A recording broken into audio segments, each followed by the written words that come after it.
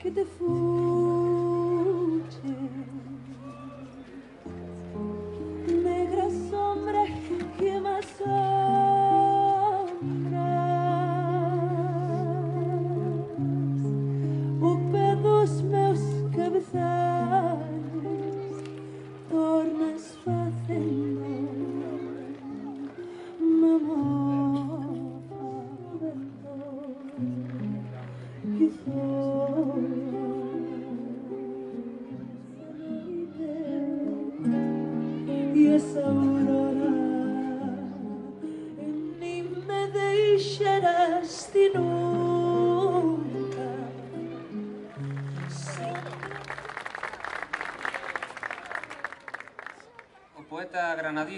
Federico García Lorca visitou Galicia por primeira vez no outono de 1916. Viña en tren dende Ourense, dirixíase a Compostela e fixo transbordo na estación de Redondela de Galicia.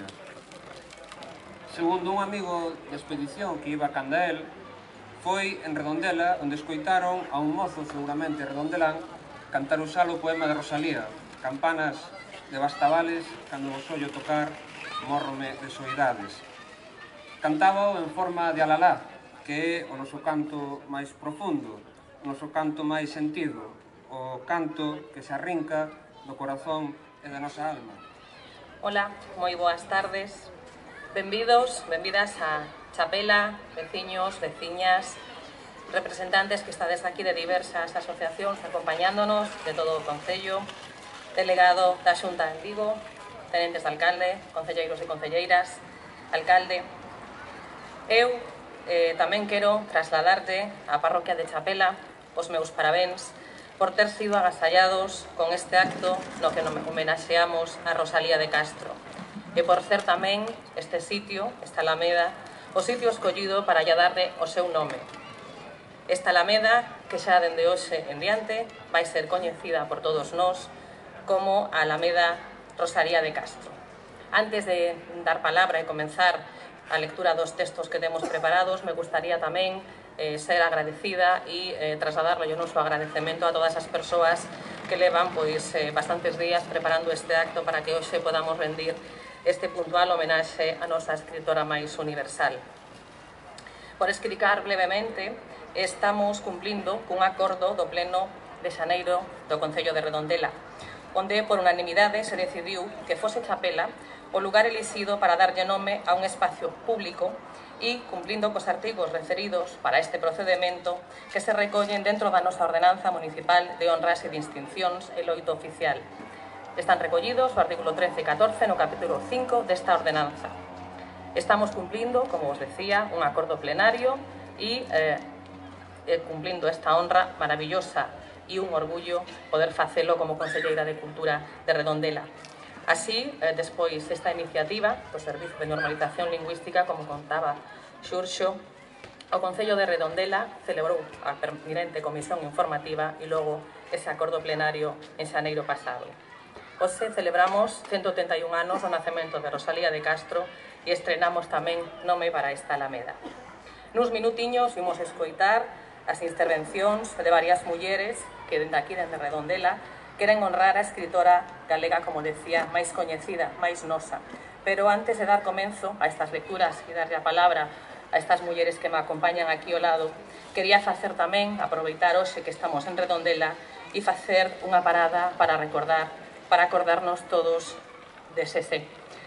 De Sese, que como sabedes tamén fai casi un ano eh, perdía a vida, era asesinada e eh, penso que debemos ter tamén todos este momentiño de recordo para ela e no seu nome e como facemos todos os meses diante do Concello aproveitar este acto tamén para volver a reseitar todos os actos de violencia contra as mulleres.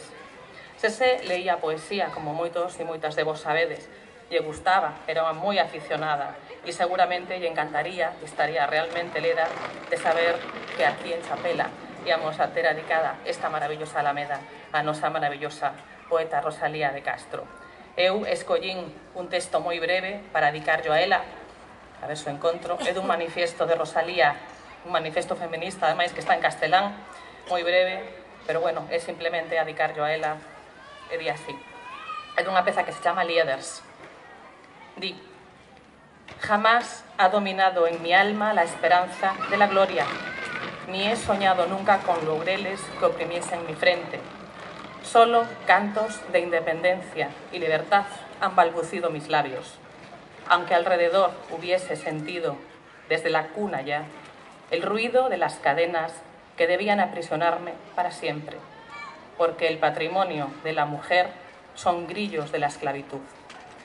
Estas palabras que acabamos de ler son palabras dunha muller que as escribiu moi nova aínda e como vedes expresa moi ben ese sentimento que sentía de opresión no seu corazón de que as mulleres non tiñan daquel entonces toda a liberdade que la pensaba e que pensaba que se podían acadar. E hoxe seguimos traballando neste camiño. Imos darlle xa, eh, como vos decía antes, a palabra a estas mulleres que me acompañan. En primeiro lugar, vai eh, facer a súa intervención unha persoa representante, a presidenta da Unión Democrática de Pensionistas, unha asociación que está instalada aquí en Chapela e que, como seu nome di, pois está formada por persoas maiores, pensionistas, jubiladas, que como a Rosalía coñecen moi ben parte desa, mmm, digamos, historia dura, historia antiga, historia da emigración e do desarraigo que tantos e tantos deles probablemente viviron. E tamén, despois de Esther, vai tomar a palabra Mercedes, que a representante do noso fin de Redondela, ela é asesora xurídica e que tamén te, pois, no día a día un trato importante e directo con moita problemática no referente pois, aos dereitos e as libertades das nosas mulleres aquí en Redondela. E cedo xa a palabra, van a facer seguidamente Esther e logo Mercedes. Gracias. Diogo Rira de Rosalía. A súa obra literaria consagrouse a este propósito, O fomento da nosa cultura, lengua e identidade así fixo medrar o resurdimento literario onde a lengua galega, a modiño, foi recuperando o seu lugar como había séculos ocupaba durante a edade... Cando emigramos. Volo leirei. Adiós ríos, adiós fontes, Adiós regatos pequenos, adiós vista dos meus ollos, non sei cando nos veremos. Miña terra, miña terra, Terra donde meu criei, hortiña que quero tanto, figuriña que, que prante, figueiriña que prantei. Ben, eu quería lervos a xustiza pola man, pero esta, eh, esta, este é un poema moi duro, moi duro e moi interesante. E gustaríame que foramos capaces de apreciálo en todo o seu eh, esplendor. Para iso vou vos contar a historia de Marica. Esta é unha historia real que, aínda que sexa moi común, é moi dura. E a nai de Marica viviu no tempo de Rosalía. Era unha muller moi pobre, filla de solteira, que como casa tiña os camiños e como teito o ceo.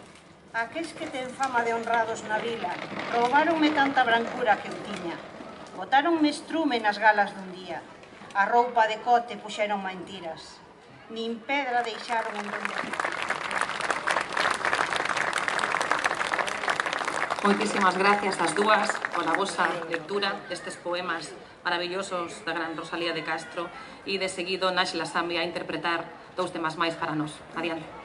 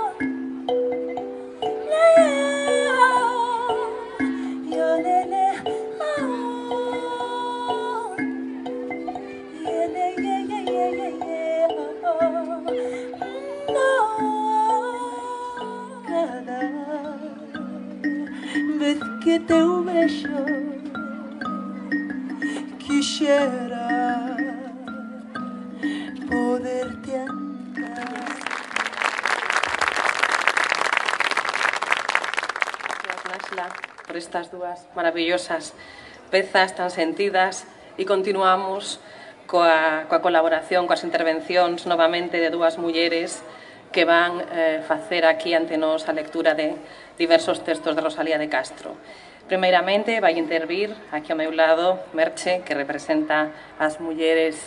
Perdón, Merche non, Conchi, cambian o nome, Merchiela, Conchi, que representa as mulleres rurais de Redondela, Sementeira, que eh, vai ler un texto sobre a igualdade e que, bueno, a, a seu nome, o nome desta asociación sementeira nos leva pois a pensar nesas aldeas, nesas colleitas, nesas mulleres campesiñas que tanto e tan ben cantaba Rosalía, non? Esa vida da aldea.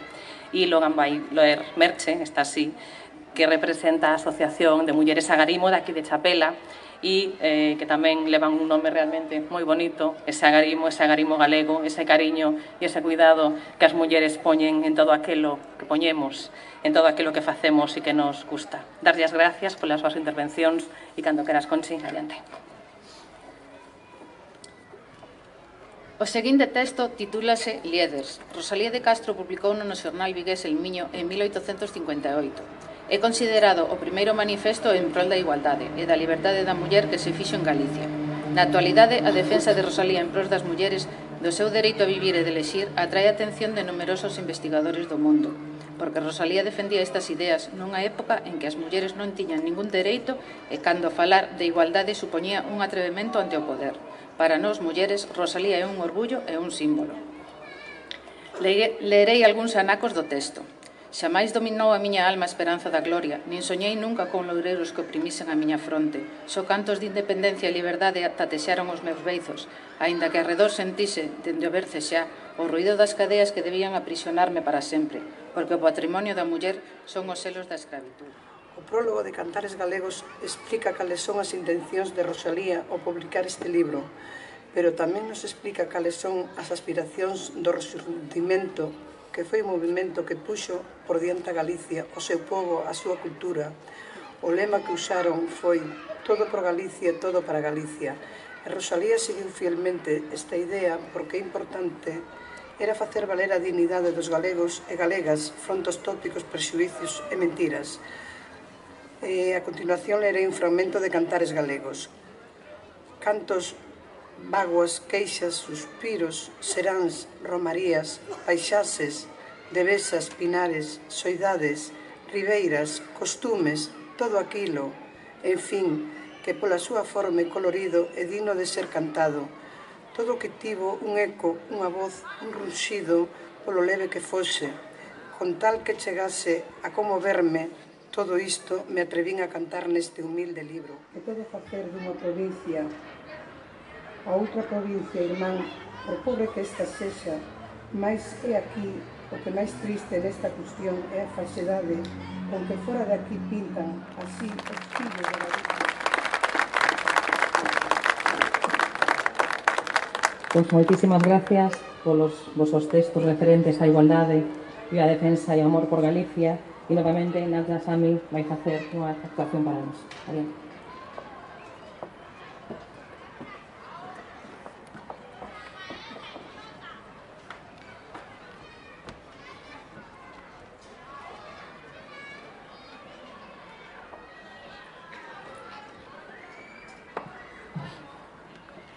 e despídame con esta que vou facer eu a guerraleira esta eh, o poema que abre o Cantares Gallegos. E, e lle deu título o libro que saquei musicando poemas de Rosalía de Castro chamase Na lingua que eu falo Moitísimas gracias por estar aquí e pola vosa atención.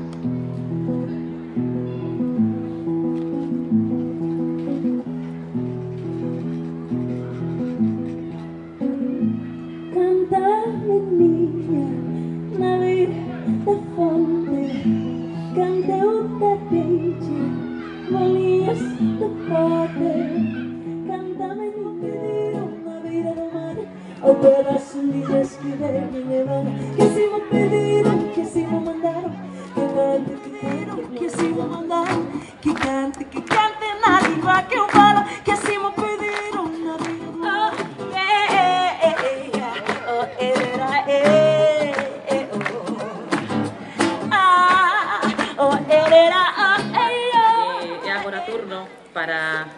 unhas palabras que nos envían dende a Fundación Rosalía, que nos din así. Señor Alcalde, Corporación e Pobo de Redondela, ante a imposibilidade de asistir ao acto de inauguración da Alameda que vai levar o nome da nosa escritora, quero transmitirlles a miña felicitación en nome da Fundación que presido e tamén o noso agradecemento. Redondela é un epicentro cultural de referencia para a Galicia contemporánea, O feito de que escolla agora o nome de Rosalía de Castro para a Alameda ven confirmar un camiño de compromiso coa cultura galega que Redondela escolleu xa ben tempo. Aínda que eu non poida estar hoxe aí, saiban que os lazos establecidos últimamente entre Redondela e esta fundación están máis vivos que nunca. A nosa unión e a nosa colaboración farán que esta fundación e o Concello camiñen xuntos no futuro para próximos proxectos. Moitísimas gracias por todo. Un saludo moi cordial e feliz Día de Rosalía. Anxo Angueira Viturro. E un saludo que nos mandan e unha excusa por non poder estar hoxe con nós porque, bueno, obviamente están ocupados cos actos eh, deste día na Fundación. E xa, eh, para dar peche a esta celebración do noso Día de Rosalía de Castro en Redondela, vai nos acompañar e vai compartir con nós tamén unhas palabras o noso alcalde, Javier Vasco Lujeira, quen, eh, cando remate, nos eh, pedirá e acompañaremos todos para descubrir esa placa que lle vai dar nome a esta plaza, como decíamos, Alameda Rosalía de Castro xa de hoxe e para sempre. Boas tardes, veciños de Chapela, boas tardes, señor delegado da Xunta, concelleiros do Concello de Redondela, representantes das asociacións culturais, veciñais e empresariais de la vila, da vila de Redondela. Gracias por estar hoxe nesta tarde que vai ser unha tarde para o recordo en Redondela. Hoxe temos unha grande honra e un motivo de celebración como pouco estendido esta parroquia de Chapela. E digo isto porque hoxe vamos a dar nome a esta alameda vamos a darlle o nome da nosa Rosalía de Castro. E isto é o que estamos a celebrar, como sabedes, coincidindo coa súa festa anual, o Día de Rosalía, 24 de febreiro, que recorda a súa memoria, a súa persoa, a súa obra e o seu pensamento dentro e fora das nosas terras galegas.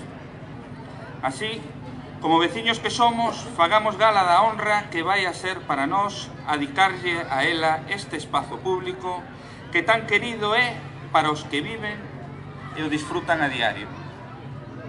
Rosalía, como todos sabedes, amaba aos nenos.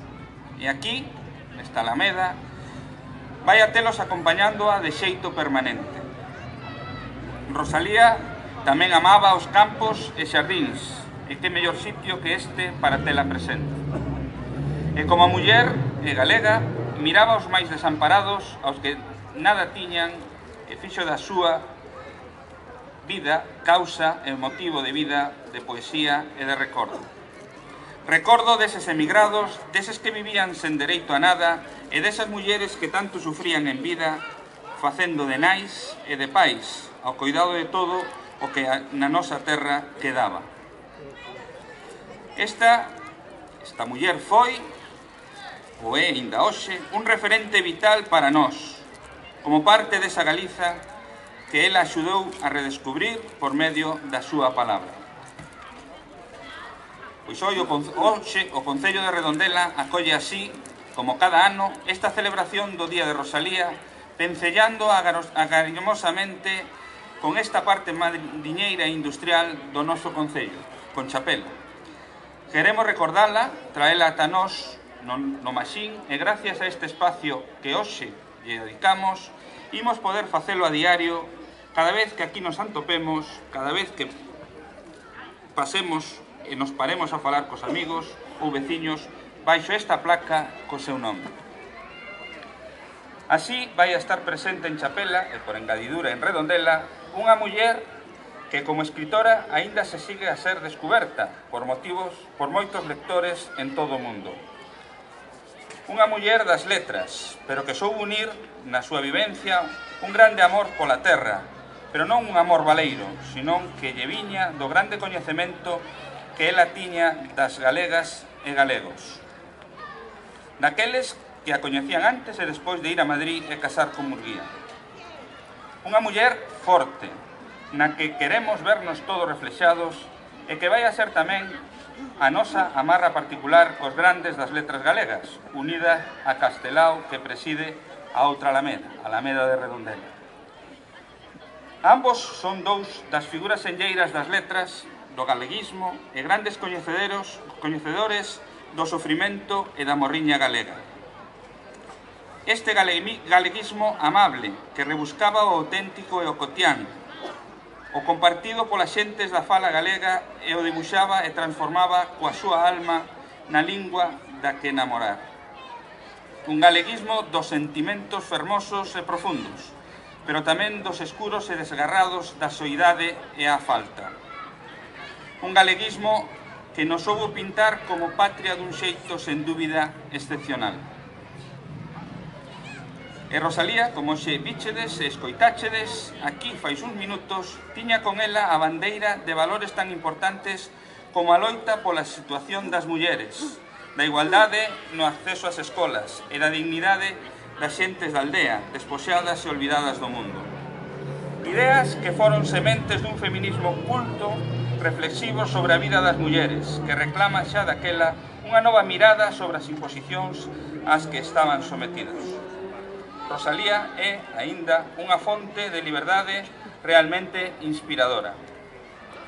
E foi un referente para moitas que viñeron despois, xa que na súa persoa concurrían tanto a erudición lingüística, a creación poética e narrativa, o cultivo de círculos cultos de traballo pola lingua, como a faceta de filla de nai solteira tan denostada naquelas datas e nai de sete fillos, co grandísimo custe físico que se supuxo ela como ninguén, recolleu a escrita en galego e animou a outros a seguila e facer resurdir unha lengua de tanta historia como é a nosa. Publicou libros de poemas de grande recoñecemento como Cantares Galegos, Follas Novas ou En las orillas del Sar. Pero tamén manifestos feministas aló por 1859 e varias novelas como La hija del mar, Ruina ou El caballero de las botas azules. E publicou tamén un conto en galego, A máis, de noviña, fixo varias veces de actriz acompañando a súa nai. Por tanto, imos agora a proceder a descubrir esa placa na súa memoria e xuntos todos nomear definitivamente esta plaza chapeleira con un nome insigne e inesquecible, o dunha muller que soubo mirar dentro e fora de sí. Rosalía de Castro, xa tes o teu espacio no Concello de Redondela, xa tes o teu espacio na parroquia de Chapela, e unha nova viaxe comenzas hoxe. Moitísimas gracias e vos pediría que non me acompañardes a abrir, a descubrir esta plaza.